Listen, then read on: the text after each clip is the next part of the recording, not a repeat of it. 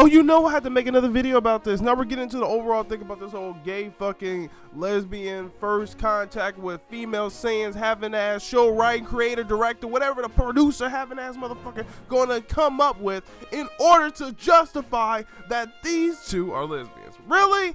Really? Okay, so basically within this episode you saw that female Broly was clearly fucking gay as hell. You clearly saw that. And there's indication with Kale as well. Because then Cabba said that I think she's mad because we were talking all friendly.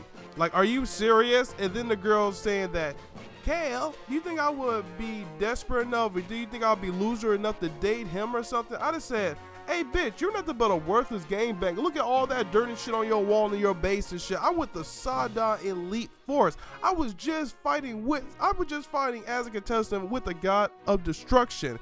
Bitch, humble yourself. You just learned how to turn Super Saiyan. I would have really treated that ass. Like, literally. And literally, I would have just treated the hell out of her. Because the whole premise is this dyke ass chick, I guess, is in love with Caulifla. And I guess Caulifla is probably a carpet muncher too. Why the fuck are the first two female Saiyans fucking carpet munchers? That's effing stupid. Literally. They gotta include gay, they gotta include black, they gotta include everything and everything. Dragon Ball Z did not have any gay characters, plain and simple. Broly wasn't gay.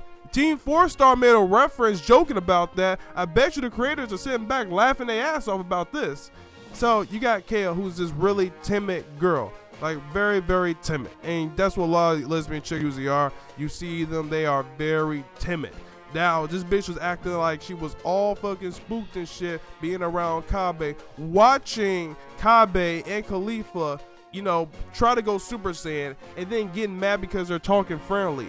He's trying to teach her a effing ability. I, this, this, is the shit that don't make sense. All this lesbian shit does not make sense, like at all. It, it really doesn't.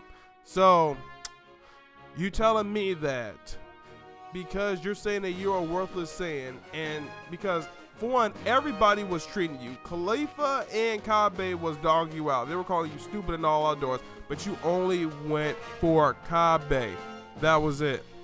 Come to find out, it's not even the fact that they say anything. It's because you saw them with, you saw them with each other. So that means that your intent was to try to take out Cabba. Because when Caulifla went Super Saiyan, the girl blushed.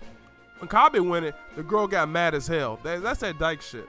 I looked at her. I would looked at her and said, "Okay, listen. Uh, for one, you gonna show me some respect, Caulifla, whatever that bitch name is." And just because she's yelling and crap in your face, that don't mean nothing. I would have smacked the taste out that chick's mouth. No. No.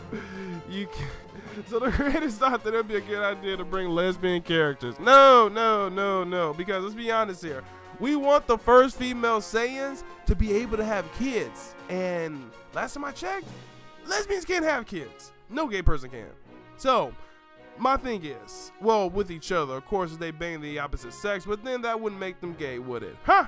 Now, that's the thing. We want to see them have kids, and that's not going to happen with this crap. So, writers, let's be real here. With Kale, you know, I'll, I'll, say let her hook up with somebody from Universe 7 or something, or let her hook up with somebody from Universe 6, because I believe it's going to be more than just the one universe is going to be surviving, not ex- not including the four universes that's excluded already, but the ones that's in a power tournament now. I believe there's going to be more than one that's going to survive. Hopefully, it's Universe Six. Honestly, I don't even know now. Maybe they should blow up Universe 6 and bury this whole lesbian Saiyan bullshit forever. Put in the comment section below. What do you guys think? Peace out.